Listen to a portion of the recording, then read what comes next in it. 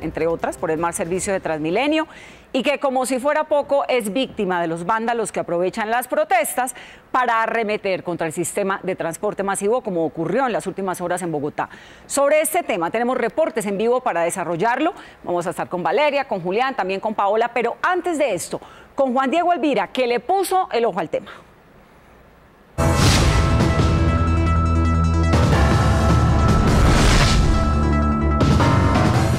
¿Usted qué haría para mejorar Transmilenio?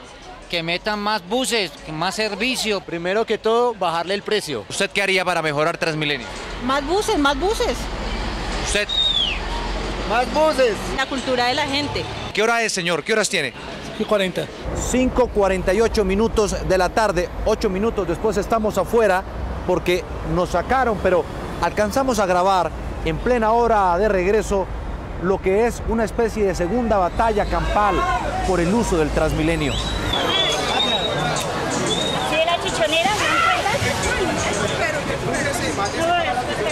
¿Por qué no ha tomado el bus? Porque estoy esperando que descongestione un poquitico porque obviamente vengo súper cansada de trabajar y eso lo embuten a uno como si estuvieran embutiendo salchicha. ¿Está estresada? Sí, cansada, agotada, o sea, no consigue uno transporte. ¿Cuánto lle- ¿Cuánto llevan ahí?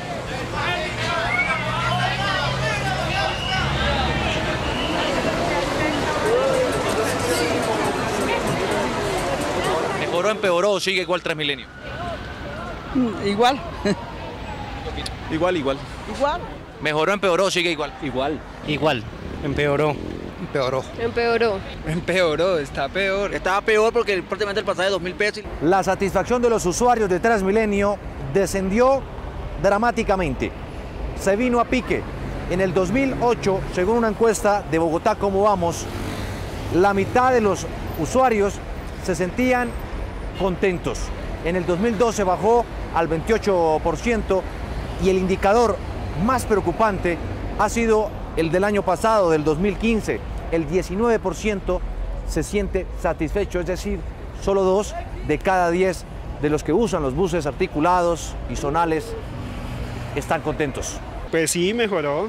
Pues Ha sido el único, como de 50 personas que he entrevistado que me ha dicho eso. ¿Por qué? no, yo siento que es frecuente que ha mejorado las rutas. Por ejemplo, ya si uno se quedó de un bus, al ratico llega el otro, la congestión pues es mucha, pero pues es que es difícil, el problema es bien complejo, pero, pero no en general, yo digo que está bien. Así es, pues continuamos como ustedes lo mencionan, la Policía Metropolitana de Bogotá. Pues resulta que conocimos un caso de intolerancia literalmente en Transmilenio. Eso sucedió ayer sobre las 6.30 de la tarde en un bus articulado. Bueno, coronel, ¿en dónde ocurrió esto y por qué estas dos mujeres literalmente se van a los golpes? Sí, se presentó un caso de intolerancia, una riña recíproca entre dos damas debido al tumulto, la hora pico, y se presenta por eh, una silla.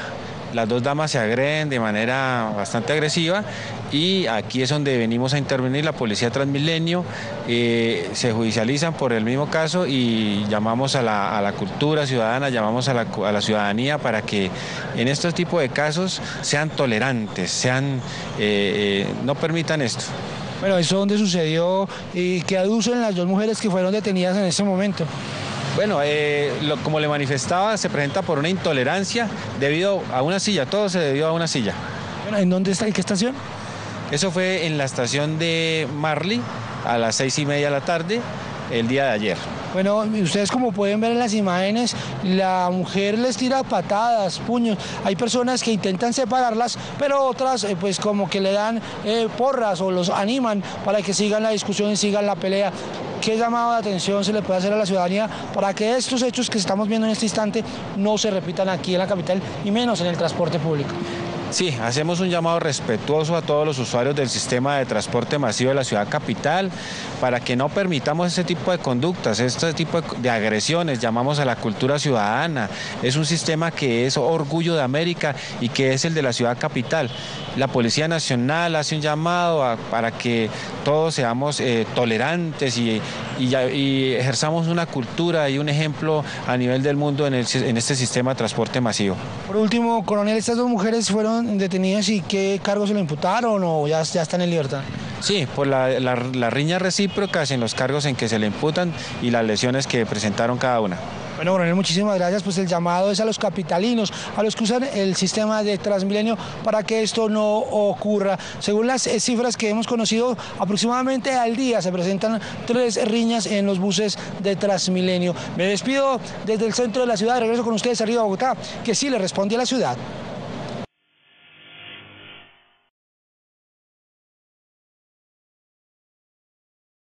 Este servicio fue diseñado para que por la capital circularan aproximadamente 600 buses. Hoy están transitando el doble de los buses articulados con que se inició el proyecto.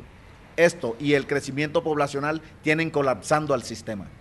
Bueno, en primer lugar hay un número de usuarios creciente en Transmilenio sin que el sistema haya ampliado su capacidad a la misma velocidad del crecimiento del uso del sistema.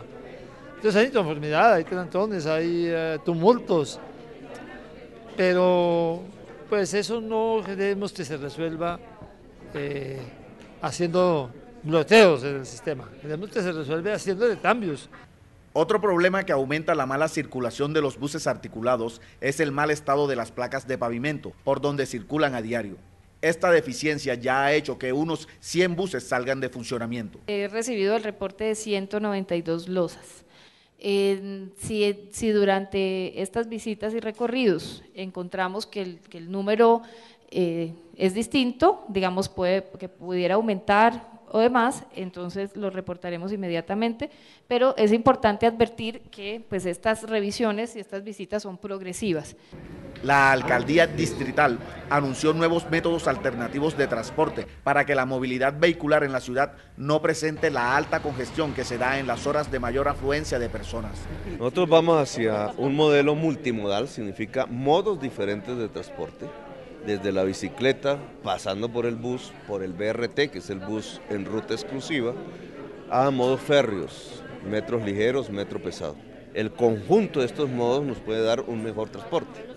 Sin embargo, los bogotanos que usan el servicio de Transmilenio manifiestan diferentes posiciones con respecto a la eficiencia de este proyecto vehicular que cubre 20 localidades de la ciudad. Muy bien, mucha gente, pero pues la ciudad es grande y hay que comprender todo eso, ¿no? Que a medida de que la, el pueblo el pueblo colombiano crece, esto pues queda, queda corto, ¿no? Que no hay por dónde caminar, llega uno muy tarde al trabajo, a la casa, es desastroso. Está mejorando, se ve que le han puesto atención últimamente. En los próximos días, una comisión de usuarios del transporte masivo se reunirá con el alcalde de Bogotá para optimizar este servicio. Básicamente se discutirán temas como el de su falencia, su productividad y su operatividad. Esta comisión estará integrada por representantes de todas las comunidades donde Transmilenio presta su servicio. Álvaro Altamiranda, Hispan TV, Bogotá. En su segundo día como alcalde electo de Bogotá, Enrique Peñalosa pasó su tarjeta de cliente frecuente de Transmilenio en la estación de la calle 85. Fue allí donde inició el calvario que viven a diario cientos de usuarios al intentar subirse a los articulados. Bueno, vamos en un H13 con el alcalde electo de Bogotá. Alcalde, vemos efectivamente el hacinamiento. ¿Cómo solucionar esa problemática de todos los días? Sí, eh, nosotros vamos a hacer varias cosas para que vaya menos lleno Transmilenio. La primera es que que haya pasos subterráneos a desnivel en los semáforos para que vaya más rápido el bus. Si el bus va más rápido, el mismo bus con el mismo gasto hace, por ejemplo, dos viajes. Entonces va a la mitad de lleno porque es como si hubiera un bus adicional. Y segundo, tener menos rutas en las puertas. En medio del hacinamiento, los usuarios de Transmilenio manifestaron su inconformismo con el sistema. Viajar en Transmilenio a esta hora o cualquier hora es difícil, difícil. Nos estropean, nos golpean, de todo, de todo nos hacen. Pero ¿cómo combatir la inseguridad? Una de las principales quejas de los usuarios del sistema. Sobre eso también se refirió Enrique Peñalosa vamos a capturar a los cabecillas de las bandas. Los que roban celulares hacen parte de bandas. Con inteligencia vamos a hacer un trabajo de meses, como se hace para capturar a los narcotraficantes, no solamente para capturar al que roba el celular, sino para capturar a los jefes, a los cabecillas, desmantelar las bandas. El recorrido terminó en la estación Tercer Milenio, donde Peñalosa concluyó que Transmilenio necesita cambios urgentes que garanticen seguridad y comodidad para todos los usuarios.